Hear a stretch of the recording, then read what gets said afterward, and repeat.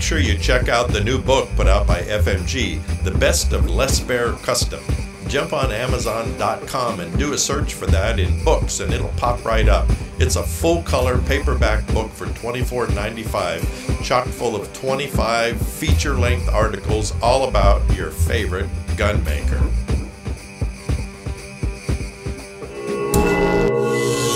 If you read the May June issue of American Handgunner magazine, you would have seen this Les Baer custom carry Commanche on the cover. This is the gun. Because I wrote the article, I pretty much shot the snot out of it. I'd like to tell you what I learned.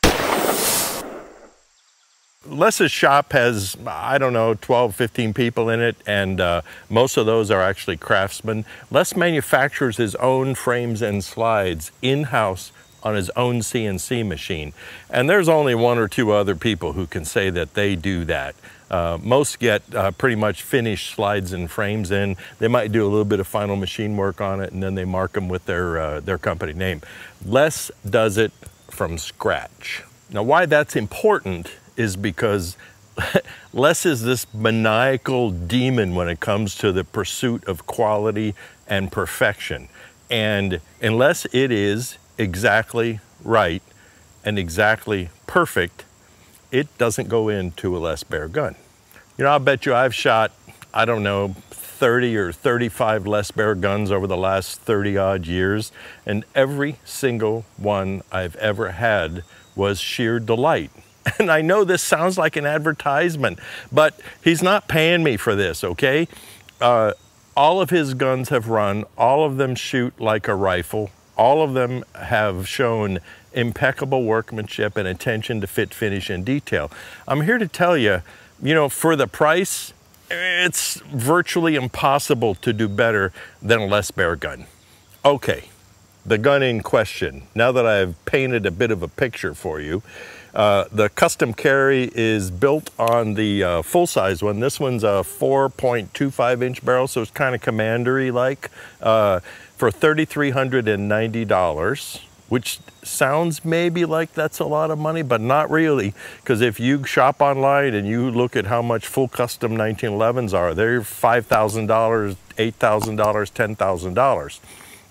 This is built the best that I have ever seen a 1911 be built. This particular gun uh, has something that I really like, especially on a gun that's as accurate as a Les Baer gun. It's got fully adjustable rear sights. These are the Rollo sights. Uh, they're uh, tritium, so they're night vision sights.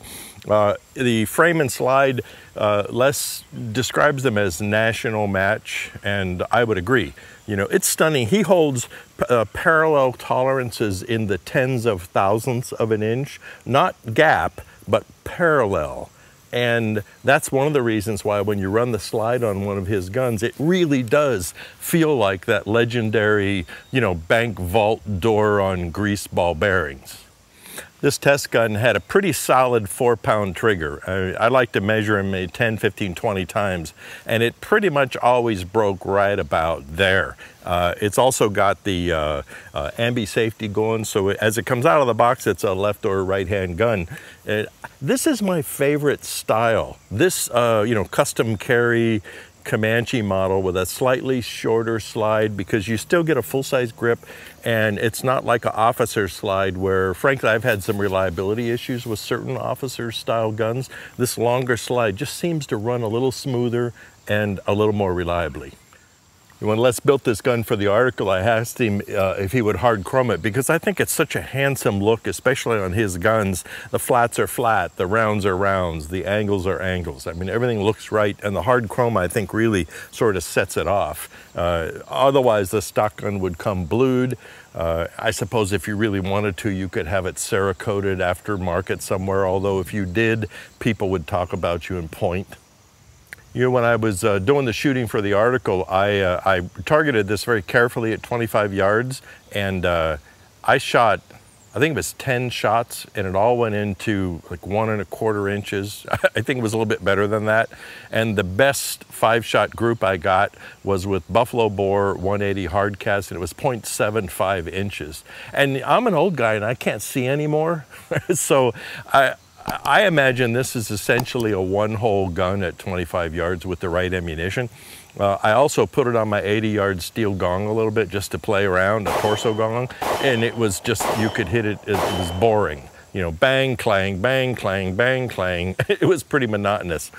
Let's uh, chat just for a second about ammunition. There's a lot of talk about, oh, it's uh, 10 millimeter is as powerful as a 41 Magnum maybe at the very lowest edge of the 41 Magnum. Something that's really interesting to me is this uh, new Honey Badger round, solid copper fluted bullet. This one is a 115 and it chronographs at an honest 1600 feet per second. Jeff Hoffman of Black Hills Ammo has sent me gelatin pictures and it will penetrate 24 plus inches of uh, ballistic gelatin and leave a really uh, substantial permanent wound cavity. If you get that kind of penetration and a 10 millimeter caliber, a bullet weight is is irrelevant. There's also that Buffalo Bore 180 hard cast uh, bullet.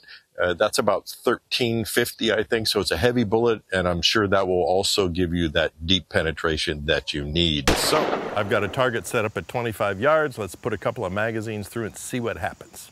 We're set up at 25. I'll slow fire and see what we can do. I like this uh, axle target that we have here because it's got an outline of a human body and the location where the actual heart muscle will be located and also where that sort of magical area here uh, in case you really need to have a type 1 stop on somebody. So, all right, let's shoot uh, and see what happens.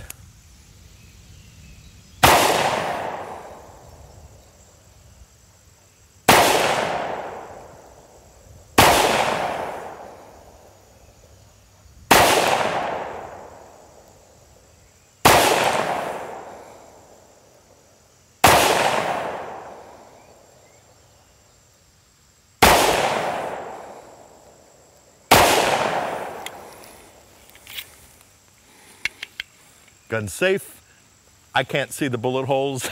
let's go see how we did. Okay, well, let's see what we have here. One, two, three, four, five, six, seven, eight. I shot eight times. This actually just might be the sight picture itself. I'm not sure. Uh, like I said, man, I can't see anymore, but uh, offhand, just sort of shooting. That was the first magazine I put through that gun today. And uh, now that all the excuses are done, you can see though that I've got essentially a palm size group at 25 yards, uh, nicely centered in the stop the bad guy threat area. So, all right, I think the gun can shoot better than most people can shoot, evidently including me. All right, let's wrap this up. To close up shop here, uh, you know, 3,350 odd dollars, give or take a little bit, you get a very fine 10 millimeter gun. There's something about this gun that seems to reduce the recoil, and I'm not sure why that is. Uh, just uh, you know the fit, the way the slide runs, I'm not sure. The fact that it's all steel helps, I'm sure.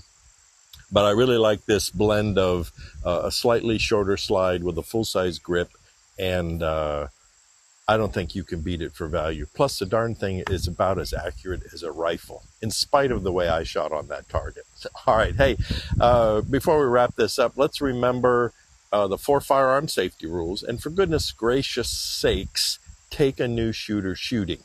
Um, I think that it's part of our obligation as ambassadors to the shooting sports. And so take the time to do it. I know they need the help. And there's not a single person like that who I've taken shooting who didn't really appreciate it. So, all right, you guys. Hey, until I see you next time, stay safe.